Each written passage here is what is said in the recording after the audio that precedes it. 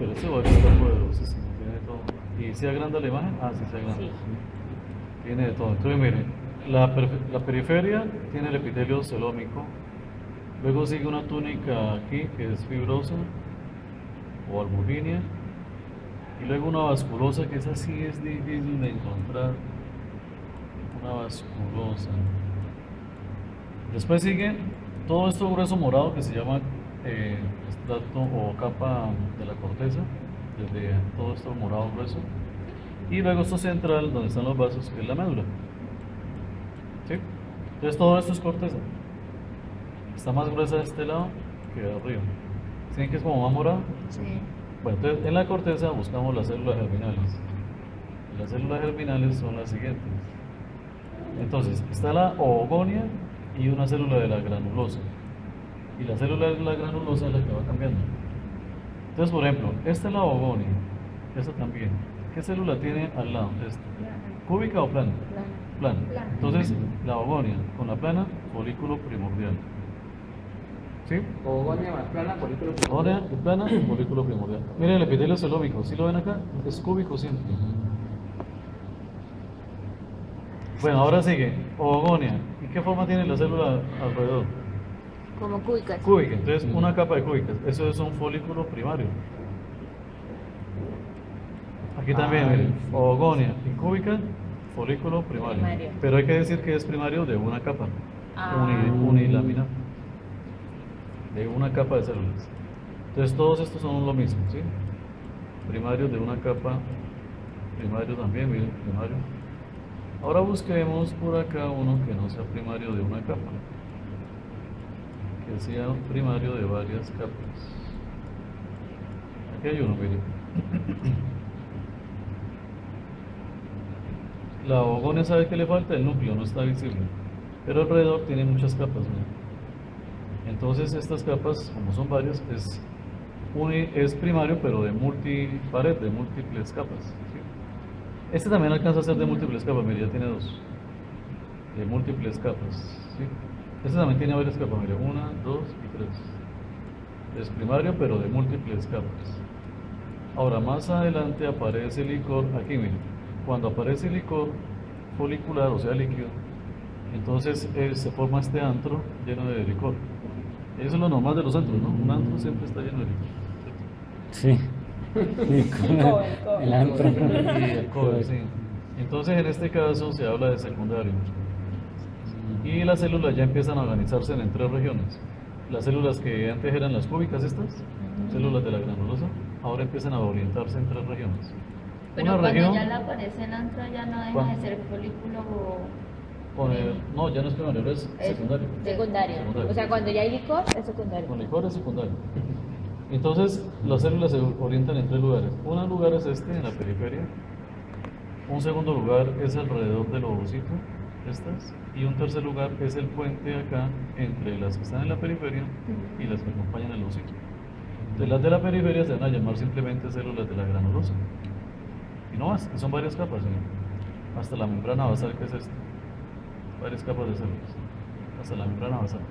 Ahora, las que están alrededor de los ovocitos se van a llamar el- la corona radiada. Y las que están en el puente aquí de unión entre la corona radiada y la granulosa, a esta la llamamos el cúmulus o ópulus.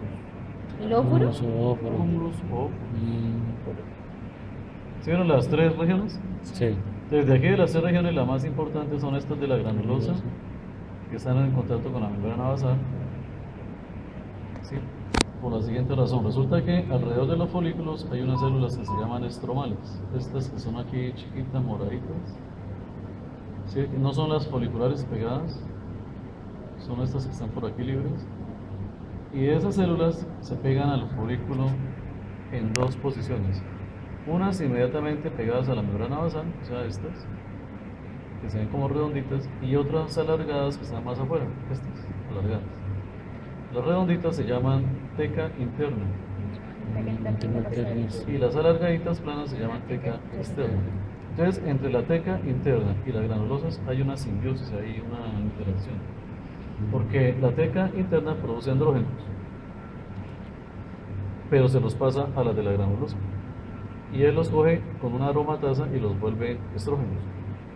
Entonces hay un- una, una interacción entre ellos, ¿sí? Interactúan. Ahora vamos a buscar, Doctor, que si hay una deficiencia de esa enzima, esa aromatasa puede terminar en problemas de... hiperandrogenismo o en- queda androgenizada la señora. Si la aromatasa no funciona porque la androstenediona es masculinizante. Si no hay aromatasa, entonces esta señora producirá andrógenos acá y el mismo andrógeno se produce en la suprarrenal. ¿Se acuerdan en qué capa? ¿En qué capa? la- ¿En qué región? ¿Cómo la olvidaron? El. La fascicular. No, la fascicular no produce andrógenos. No, no ha sucedido. La glomerular. No, no ha pasado antes, no va a empezar a La pasar. reticular. Si no es una, no es la otra, no la una de las tres. Reticular. Bueno, todos esos secundarios tienen que crecer más para hacer graf, ¿sí? Pues están chiquitos, estos secundarios todavía están chiquitos para hacer graf. Pero cuando ellos crecen lo suficiente para hacer graf, se rompen y se evacúa el contenido en la ovulación. Esto es ovario. ¿Tienen preguntas de ovario? El ovario es mama, dice. El ovario es muy fácil. Eso como tal ya es el folículo de Graf, ¿cierto? Cuando tiene No, eso está muy chiquito. Ah. No, tiene licor, entonces es un folículo secundario. secundario. Lo que pasa es que tiene que madurarse más grande para. Ellos se madura tanto que casi no cabe en el ovario. Puede perfectamente ser del tamaño de medio ovario. Entonces no cabe, entonces se tiene que romper. Llegará el momento en que él debilita la pared y. ¿Qué otra lámina tienen apartada? Esta era ovario, que es mamey. ¿Esta? Aquí, ¿qué más hay? Dice ovario, ovario, oviducto. Ah, bueno, sigue el oviducto. La trompa uterina. Esta trompa uterina tiene túnicas. Entonces, hay una túnica en la periferia cubierta de epitelio plano. Se llama adventicia o serosa cuando es plano. No, cuando es plano se llama serosa. Sí, Serosa, entonces busquémoslo. Este epitelio plano aquí afuera. Serosa. Después de eso sigue esta túnica de músculo liso. Y luego sigue la interna, la parte interna donde están los pliegues. Estos son pliegues mucosos. Y los pliegues mucosos tienen dos células. Unas células ciliadas y unas células enclava. Las ciliadas son estas que tienen forma de cilindro con cilios aquí arriba, ¿sí la ven? Y las enclavas no tienen cilio, mira, son estas blancas que no tienen cilio. Ahí están las dos. Ciliadas y enclava. ¿Y anclada? Clava, clava. C Clava, C L A. clava. Como la canción esa que dice que va. Yo soy el que la... Yo sé que la. Esa, esa es. cari- ceviche, ceviche. Esa es la- Eso es toda la troma. Entonces, entre más pliegues mucosos tenga, seguramente es la ampolla. Esta vez es la ampolla. Tienen demasiados pliegues mucosos. Bien. El otro órgano femenino, no, este aquí no está. El otro órgano femenino. este está masculino. Espera, ya tienen falta el cuello uterino y el endometrio, ¿no lo buscaron? El cuello del útero, vejiga, fase proliferativa. Buscamos la fase proliferativa. Entonces, en esta época, en la fase proliferativa, las glándulas son de apariencia monótona, alargadas. Entonces, mire, esto rojito es el músculo del miométodo, ¿sí? ¿Músculo liso o estriado? Liso, liso. Liso, liso, involuntario, ¿cierto? Todo esto liso. Bien, ahora, aquí está el endometrio basal y aquí el funcional. El funcional tiene arterias espirales y el basal tiene arterias rectas. ¿Cuál es el que se cae en la menstruación? El funcional. El basal no se pierde, se sigue ahí. Es el que reemplaza... El que está en forma espiral. Entonces miremos las glándulas. Las glándulas son de apariencia monótona. Entonces miren, estructuras tubulares simples se tienen que ramificar. Mira, aquí se ramificó, ¿sí? Entonces, son tubulares simples ramificadas. Mira, aquí se ramificó. El tubo se parte así, entonces se ramificó, ¿sí? Tubulares simples ramificadas y todas son de una apariencia monótona, mira. Como alargaditas, con un epitelio cilíndrico simple. Es muy monótona la apariencia del endometrio en fase proliferativa. Y las células tienen muchas mitosis. Tiene que haber hartas mitosis porque, mire, esto es mitosis, estas oscuritas son mitosis. El epitelio cilíndrico y las células tienen núcleo morado y un citoplasma rosado. ¿sí? Entonces, ese es el típico endometrio en fase proliferativa.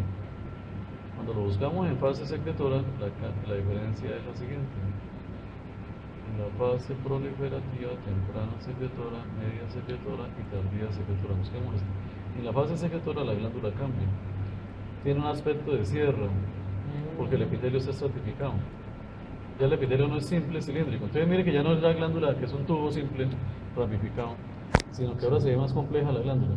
Por- Parece una S, mire, una S, ¿sí? Como un laberinto. Es porque el epitelio ya se ha estratificado, ya no está cilíndrico simple.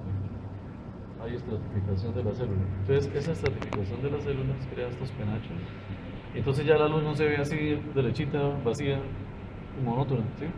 Ahora se ve una luz muy irregular, como forma de como, Sí. como si tuviera dientes de sierra. Y hace falta la- ver las células. Las células ganan una secreción en el citoplasma de moco, que cogen un color más clarito. Ya no son rosadas, ahora se ven pálidas. Entonces, comparen una vez más la apariencia de sierra, de dientes de sierra de esta glándula, con la apariencia monótona de la fase proliferativa. ¿Ven la apariencia monótona? Mire, todos que por ahí a veces se ramifican como este. ¿Sí? Y el epitelio no hace, no hace pliegues. El epitelio, mire, cilíndrico simple. Entonces, son muy simples estas glándulas. ¿sí? Sí, muy sencillas, muy fáciles de notar. ¿Y estará el cuello del útero? Cervix. Cervix.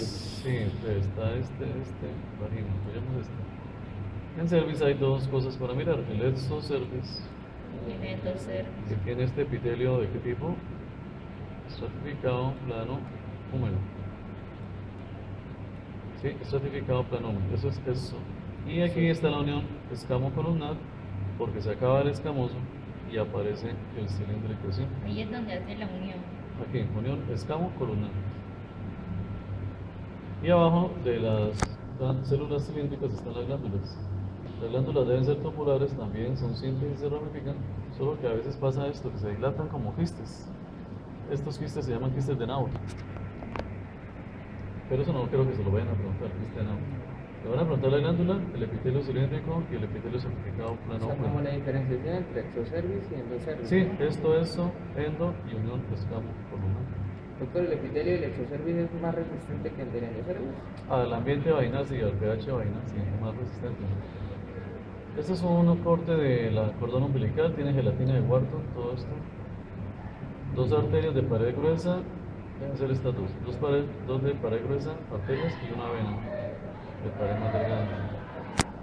Y a veces hay remanentes aquí como esto, del alantoides. Esto debe ser un remanente de alantoides, el epitelio es cilíndrico.